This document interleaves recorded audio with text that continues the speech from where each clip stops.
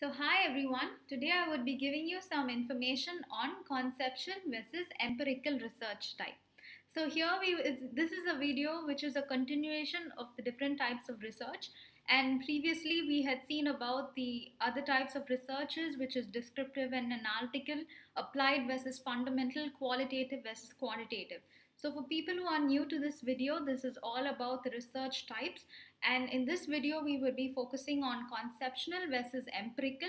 If you haven't got to see the previous videos, you can always click uh, on the link below in the description box to view and get information on the other uh, research types. So let's get into it. So basically in this video, apart from conceptual versus empirical and other research types that we are going to see here, there are descriptive versus analytical, applied versus fundamental, qualitative versus quantitative research types. So let's get into it and see what is conceptual versus empirical research type.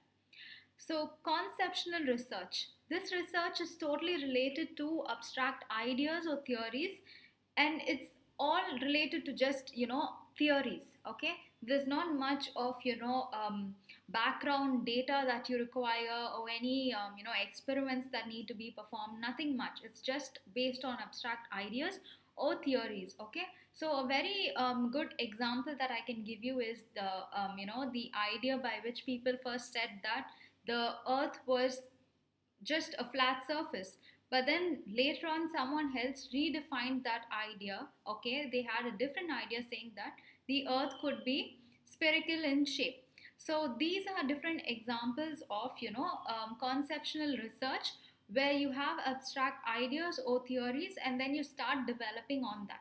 So usually who uh, if you see the personas that do this type of research mostly it's thinkers and philosophers who want to think outside the box. They are the ones who mostly use it. Why they use it for is for developing new concepts or for reinterpreting the existing ones. So taking the very um, idea that the earth would have been a flat surface people took that up and they redefined it and reinterpreted it saying that it could be spherical. So these are um, this is the example about conceptual research. When you look at empirical research it's also called as experimental research. This is totally opposite to the conceptual research because when you look at um, you know empirical research this type of research exclusively relies on the observations or on experiences and it never gives any room for any theory okay so if you that which means that if you have to prove something that some this is the input and these are the outputs if you have to prove anything it definitely needs a strong evidence for it. You just cannot prove it with mere theory. It needs to be, you know, uh, you need a strong proof to support your hypothesis. So this type of research, it is totally data driven because you need the data for proof. So it's data driven and it's it often comes up with conclusions that can be verified through experiments or through observation. So as I said, since you have a theory in hand, when it has to be verified either it should be verified with experiments observations or your background uh, you know data that you collected. So always what you want to prove it has to be you know provable. You need supporting experiments or observations to you know prove that whatever you're you know uh, bringing forth your idea all that can be supported. So this is about empirical research. So so little more about this type of research is that First, what the researchers do is they formulate a working hypothesis and then they get the sufficient, you know, facts to prove or to disprove the stated hypothesis. So let's say, for example, we can take a very common example for now for the um, the COVID. So when they, uh, you know, identified COVID, that was one of the, you know, problems that were arising and that could be the problem statement.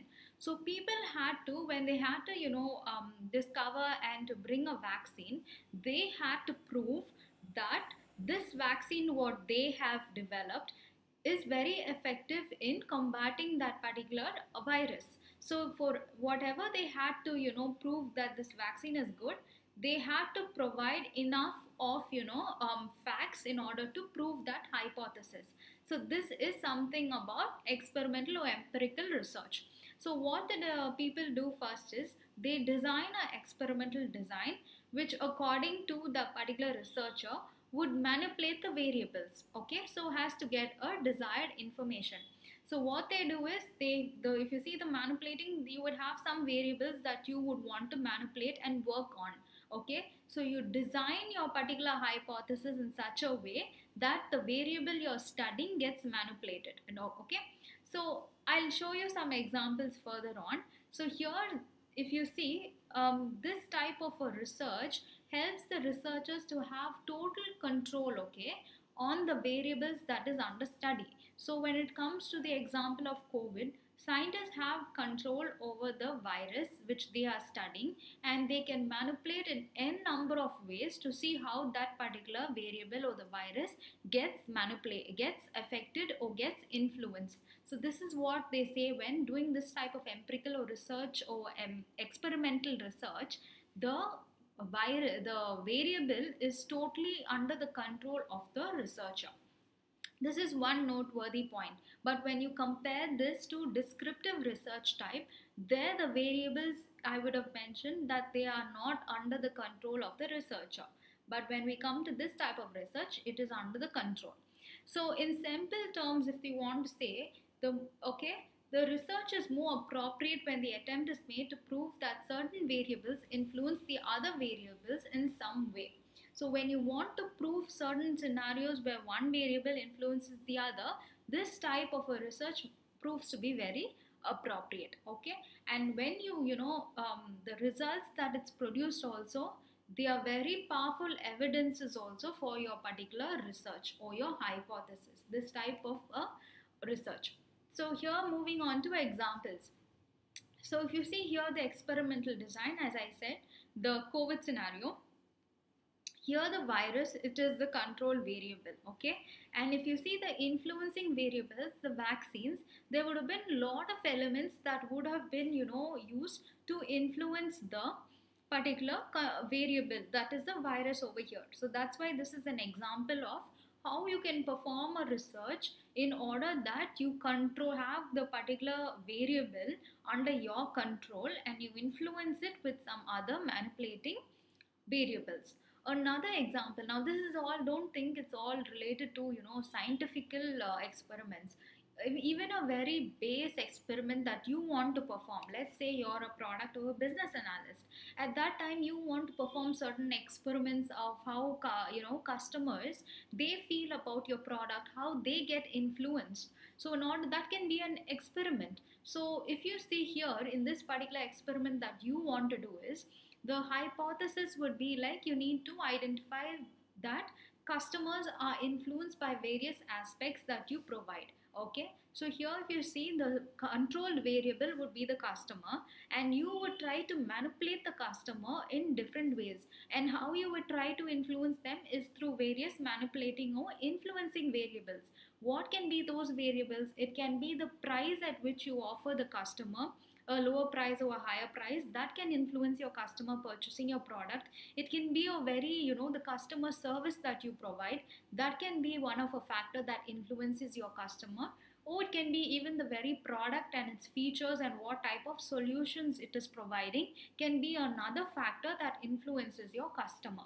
So this is also a type of you know a scenario where this research and uh, empirical or experimental type of research would hold good so if you look at the other types of research, there are also a lot of other types of research. So it, it totally depends on like what is the, you know, um, uh, what I can say, it depends on various factors that, you know, various other different types of research exist. So for example, if it's going to be totally based on time, if time is going to be a factor, then you can do instant research for example if it's just a you know quick research maybe someone tells you to check out something on the web. So internet. So you do an instant research and you get the answer. Those are all instant researches. The next one can be a time period based research. So when it is a time period based research you will have a particular time frame under which you have to do your research. When it comes to objective based research suppose your research is based on certain objectives at that time, there's something called as decision-based research and conclusion-based research. Researchers that help you to make best decisions and conclusion based research is the researches that help you to take some conclusions. The next one is environment based researches. If you're most uh, you know focused on certain you know uh, the envi- if the environment plays an important role in your research then there are various types of researches. It can be either you have to do it in a lab you have to do it on site or you can just do it from wherever you are.